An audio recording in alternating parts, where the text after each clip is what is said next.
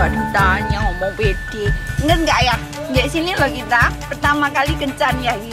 Ceritanya lagi memori. Gak cegu. Aku ditawani es dong. Cerita yang indah. Gue dong, Bos ya.